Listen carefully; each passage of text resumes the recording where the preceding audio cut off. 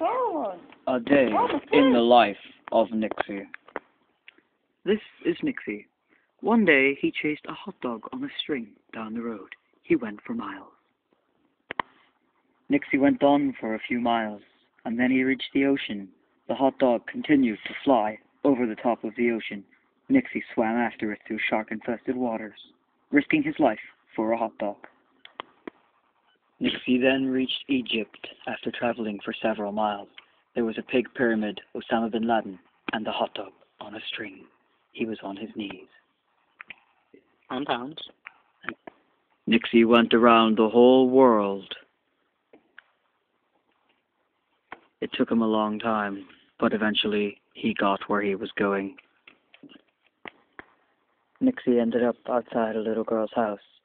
He reached with all his might, and he took a bite of the hot dog. Come in, said the little girl. He asked, Who are you, young stranger? She said, My name is Caroline. Please come in. I'll give you more food. And so Nixie decided to enter the house. Dum dum dum. Nixie went inside for more food.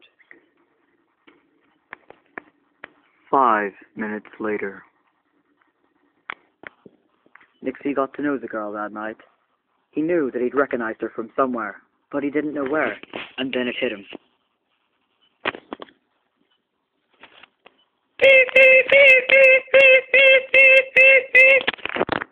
She was a pig.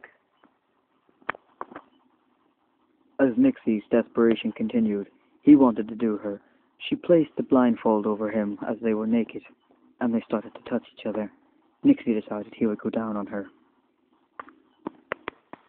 Still blindfolded, Nixie went down on Caroline. And in it went, and the cock pushed a lump to the back of his throat. Dun dun dun. Nixie jumped up and tore off the blindfold with a mouthful of cum. His hair was on end. He was petrified. All of Nixie's hair fell out as the evil pig laughed. Look at her. She's evil. And Nixie cried his eyes out as all his hair had fell out and he had become a fat little child. With no pants. The end. When you were born? No. Right? I am Gary, the narrator of this story. I'm Nathan, the picture man of the story. This is Kane, the cameraman of the story.